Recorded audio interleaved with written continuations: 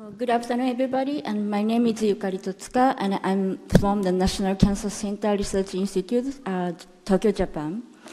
And uh, uh, it's, a, it's an honor to speak here today, and I'd like to thank to uh, the organizer to have this opportunity. So and today's my title is How Adaptomics Can Inform the Cancer Etiology.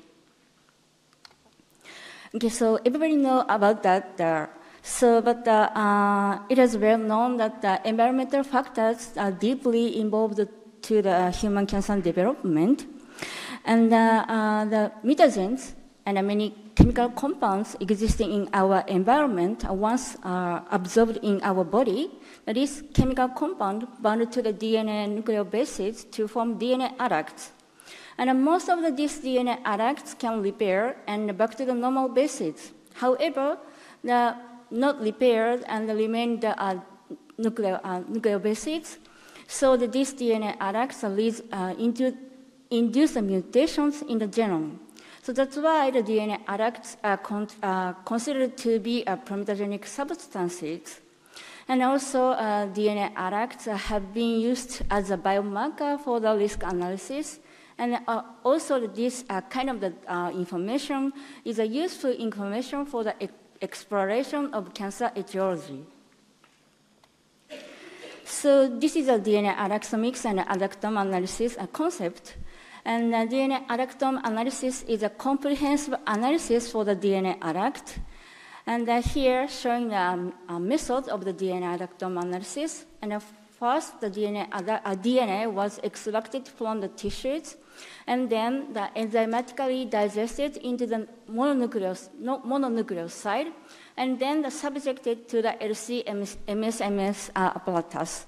And uh, the obtained outcomes uh, can be uh, separated by the retention time and the homopathy values. And in order to uh, screen the specific DNA adducts, and by using the bioinformatics analysis, and if uh, luckily we found the specific DNA adducts, the DNA adduct identification was done by the uh, comparison with the homopathy values of the authentic DNA adducts obtained from the in-house database.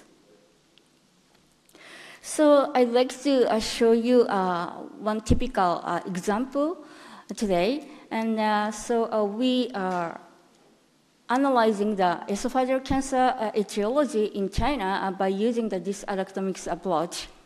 And as you know, the China has a high incidence and mortality rate uh, for the esophageal cancer in the world, and also the several high-risk areas exist in China for the esophageal cancer. So that located at here, uh, is one of the high-risk areas for the esophageal cancer in China, and uh, this figure shows the incidence of the esophageal cancer of this region.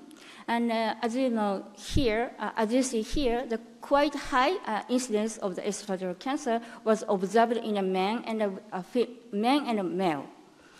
And uh, so, uh, in general, the esophageal cancer is uh, deeply related to the drinking alcohol and the sm- smoking habit. But in this region, the this habit does not cannot explain the fully. so the, that's why the, to address the etiology of esophageal cancer in this area, we carried out a uh, DNA adductome analysis using the surgical specimens collect, collected from esophageal cancer patients living in high and low risk areas. And this is the result of the adductome analysis. And uh, you can see here, these are maps of the DNA adducts, and huge amount of the DNA adducts can be seen in both uh, high risk and low risk areas. And in order to uh, which uh, DNA adduct is uh, highly associated to the high risk and the low risk area, that we use a PCA analysis. And as you can see here, that this is a 2D PCA score plot, and you can see here the uh, clear separation between the low risk and high risk areas. And also, we can observe the uh, associated loading plots uh, loading plots and uh, several DNA adducts related with high-risk area can be observed around here. And this is a uh, this is a heat map of the adductomics data, and uh, also you can see here the clear separation between the high risk and the low risk areas, and these uh, each of the DNA adducts. And uh, among these DNA adducts, the first we focus on that this DNA adduct, named A10, the with the MOPAG values uh, it's 352.18. And the next step, we search the similar MOPAG values using the in-house database. And luckily, we found that the very similar uh, MOPAG values in uh, our uh, database. And uh, this DNA adduct is uh, named THPDG, and the chemical structure is shown here. And uh, this THPDG was uh, formed from a, a, a, kind of the nitrosamine compounds, N-nitrous NPIP. And very interestingly, and NPIP, it has already reported that uh, induced esophagus and liver cancers in rats. And also, this compound exists in our environment, such as uh, um, the cigarette smoke or the uh, food, and sometimes contaminated in the well water. So, and humans uh, could be continuously exposed to this compound in their daily life. So next step, uh, we confirm the DNA adductor uh, structure correlated with the high-risk area. Because and in the previous slide, we just uh, predict the DNA adductor uh, structure using the MOPAG values. So um, the confirmation is needed. So the first step, we uh, chemically synthesize the THPDG and, uh, and then the analyzed by the LC-MSMS for the uh, accuracy uh, mass spectrometry and analysis. And this data show the fragmentation patterns of the uh, DNA adducts. the upper panel shows the authentic uh, DNA adducts, and the lower panel is, uh, was found in an esophageal surgical specimen. So as you can see here, the both of the very similar uh, fragmentation patterns was observed. And uh, moreover, the, uh, the MOPAG values is almost identical between the authentic and the surgical specimen. And also, uh, we analyzed the um, exposure levels uh, by using the blood samples collected from the high risk and the low risk areas. And uh, here is a result, and as you can see here, the, this DNA adduct THPDG uh, was uh, observed in both areas, but uh, the exposure level seems to be high in the high risk area. And next, this slide shows the uh, mutagenicity and the carcinogenicity of the NPIP. And uh, upper panel shows the in vivo mutagenicity of the NPIP by using the GPT delta transgenic lot. And uh, this compound uh, induced the uh, mutation frequency in the liver and with a dose dependently. And also the, here showing the mutational pattern of the liver, tumor, liver, liver. And uh, you can see here the GC to AT and AT to GC and AT to CG are the mutations were uh, clearly uh, increased compared to the control animals. And also, uh, lower panel show the uh, carcinogenicity of the NPIP. And NPIP uh, induced uh, papilloma and squamous cell carcinoma uh, of the rat, and at this uh, uh, incidence.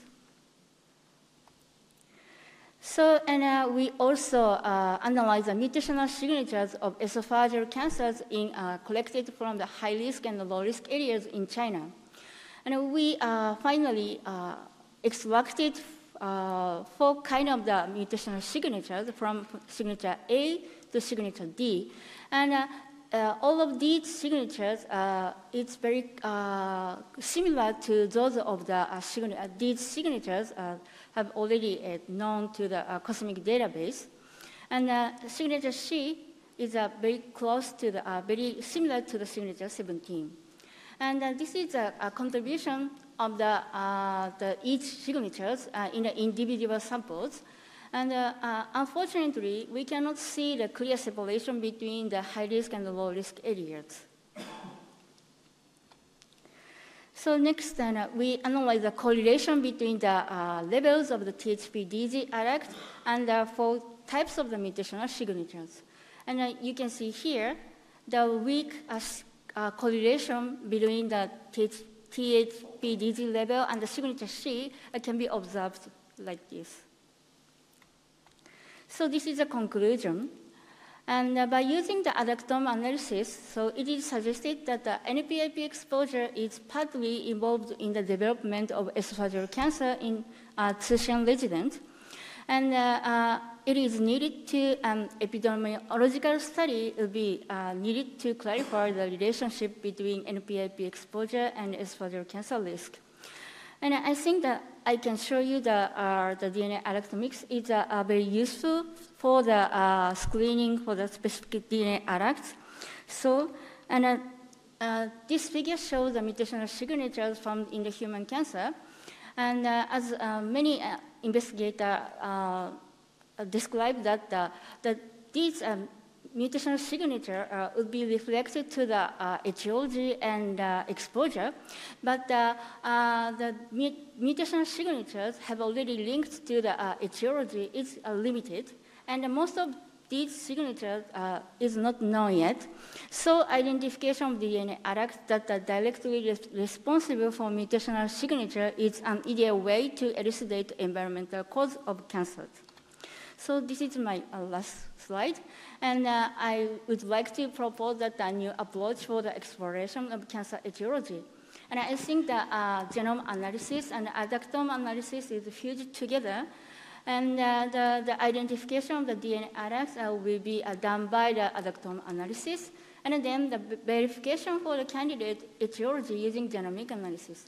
So by using this uh, new approach, uh, it is expected that the uh, not known uh, the human cancer etiology uh, could be uh, explored in the near the future.